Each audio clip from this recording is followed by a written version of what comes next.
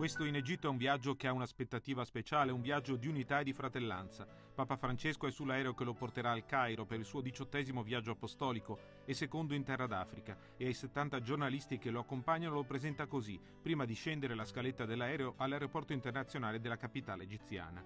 Le strade della megalopoli più popolosa del Medio Oriente che portano il corteo papale al palazzo presidenziale di Heliopolis sono deserte e blindate per motivi di sicurezza dopo i recenti attentati terroristici. Dopo il colloquio privato con il presidente al-Sisi, impegnato nella lotta al terrorismo jihadista, che ha fortemente voluto questa visita, il Papa si trasferisce nell'Università di Al-Azhar, la più alta istituzione teologica e di istruzione dell'Islam sunnita, per incontrare il rettore, il grande imam Al-Tayeb.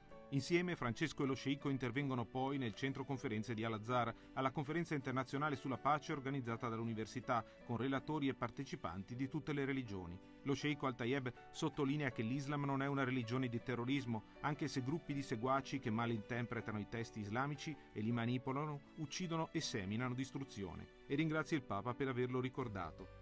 Al termine del discorso Francesco lo abbraccia calorosamente e poi lo saluta all'inizio del suo intervento come il mio fratello grande imam. Il pontefice sottolinea l'importanza di educare i giovani ad essere costruttori di civiltà. Non vi sarà pace senza un'educazione adeguata delle giovani generazioni. E non vi sarà un'educazione adeguata per i giovani di oggi se la formazione loro offerta non sarà ben rispondente alla natura dell'uomo essere aperto e relazionale. L'educazione diventa sapienza, prosegue il Papa, quando forma identità non ripiegate su se stesse ma in ricerca dell'altro, come parte integrante di sé. È l'educazione che propongono i padri dell'Istituto Domenicano di Studi Orientali del Cairo, il direttore padre Jean Duruel. Ci impegniamo a conoscere l'Islam dall'interno, per così dire, per diventare esperti di studi islamici e anche per aiutare i musulmani ad entrare nella comprensione del cristianesimo, per consentire la reciproca conoscenza. La paura si fonda e cresce sull'ignoranza, l'ignoranza reciproca, pertanto se possiamo combattere l'ignoranza offrendo alle persone strumenti per analizzare discorsi e situazioni, speriamo di contribuire a dissipare la paura, che poi in ultima analisi conduce alla violenza settaria. Questo è quanto cerchiamo di fare all'Istituto Domenicano, costruire ponti di conoscenza e reciproco rispetto mutual respect. La storia ricorda che in Egitto le religioni hanno capito l'importanza di allearsi per il bene comune e Papa Francesco evoca il non uccidere delle dieci parole donate da Dio sul monte Sinai, perché la violenza è la negazione di ogni autentica religiosità. Insieme da questa terra di incontro tra cielo e terra, di alleanze tra le genti e tra i credenti, ripetiamo un no forte e chiaro ad ogni forma di violenza, vendetta e odio commessi in nome della religione o in nome di Dio.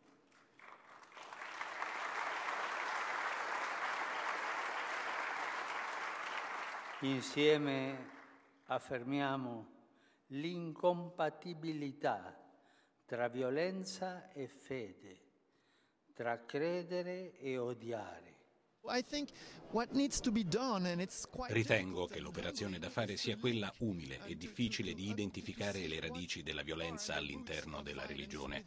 Molto spesso si sentono musulmani affermare che l'Islam è assolutamente pacifico e non ha niente a che fare con la violenza, ma quando facciamo notare versi violenti, tempi storici violenti, rispondono che non si tratta dell'Islam, quanto piuttosto di come viene interpretato e vissuto.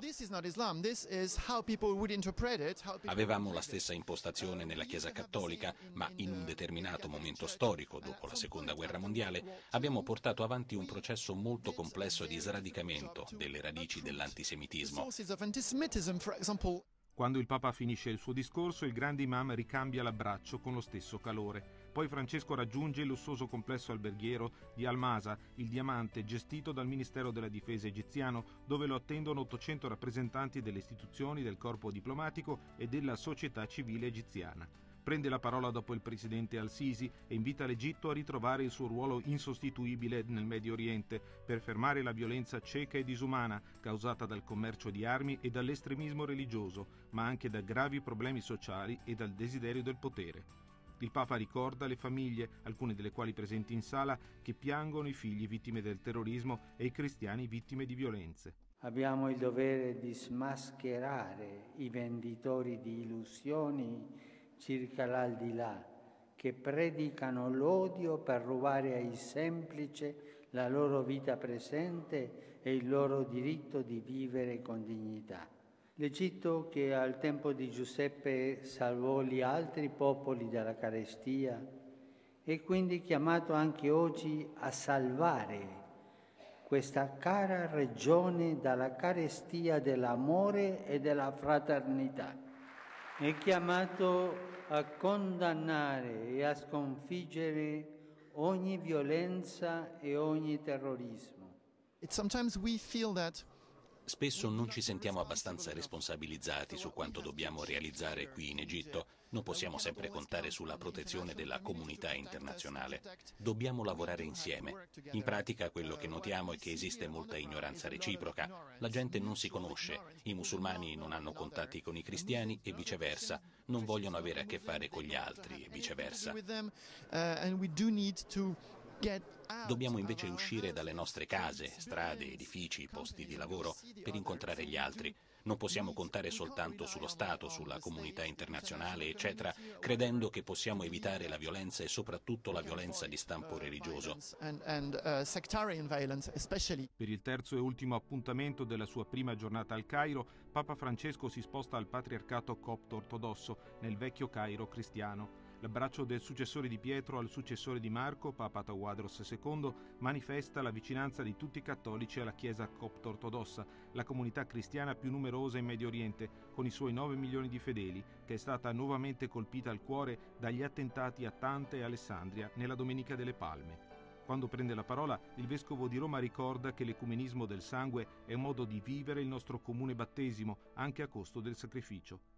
Il sangue innocente dei martiri, versato piuttosto che cedere alla tentazione di rispondere al male con il male, ci unisce. Le vostre sofferenze sono anche le nostre. Preghiamo, aggiunge Papa Francesco, perché tanti sacrifici aprano la via ad un avvenire di comunione piena tra noi e di pace per tutti. Le sue parole e la testimonianza di Don Bulos Garas, parroco copto cattolico di Sharm el Sheikh, già rettore del seminario di Madi. Copti ortodossi e cattolici possiamo sempre più parlare insieme questa lingua comune della carità. Prima di intraprendere una iniziativa di bene sarebbe bello chiederci se possiamo farla con i nostri fratelli e sorelle che condividono la fede in Gesù. Nei villaggi e nelle piccole città dove la Chiesa si trova, la Chiesa cattolica, di solito si trova accanto o di fronte della Chiesa ortodossa e quindi lavorare insieme, sapere collaborare a livello di eh, caritatevole o a livello di sviluppo ambientale e sociale è una cosa molto uh, importante e sarà una testimonianza vera che la Chiesa è una. Temi ripresi nella dichiarazione congiunta di 12 punti che Papa Tawadros e Papa Francesco firmano al termine dell'incontro, nella quale si impegnano a cercare sinceramente di non ripetere il battesimo che è stato amministrato in una delle nostre chiese per qualsiasi persona che desidera unirsi all'altra chiesa. Sono sorprendenti i passi che il Santo Padre sta facendo verso la chiesa copto ortodossa, eh, passi che hanno oh, smontato oh, montagne secolari. Il Papa ha aperto, ha spalancato le porte e le finestre alla Chiesa ortodossa di fare parte della Chiesa universale e, e hanno fermato un accordo sul battesimo non più ripetere il battesimo dei cattolici che si sposano nella Chiesa ortodossa. Questa era una ferita per noi sacerdoti copti cattolici. Le due delegazioni si trasferiscono poi in processione nella vicina chiesa di San Pietro, dove l'11 dicembre scorso un terrorista suicida ha ucciso 29 fedeli. Assieme a Tawadros e Francesco, il patriarca ecumenico di Costantinopoli Bartolomeo I, il patriarca copto cattolico Sedrak e i capi di altre confessioni cristiane presiedono una preghiera ecumenica.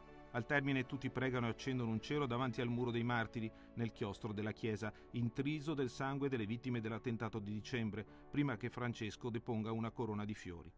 La mattina dopo la paura per i nuovi atti terroristici contro i cristiani non ferma i 20.000 egiziani venuti da tutto il paese, cattolici dei sette riti, ma anche copto ortodossi e musulmani, che raggiungono il coloratissimo stadio 30 giugno dell'aeronautica militare al Cairo per la messa del Papa. Dopo il giro dello stadio in golf car, Francesco presiede il rito in latino e arabo e all'omelia commenta il brano del Vangelo dell'incontro dei discepoli di Emmaus con Gesù. Parla di morte, risurrezione e vita, L'incontro con Gesù risorto trasforma ogni vita come quella dei due discepoli.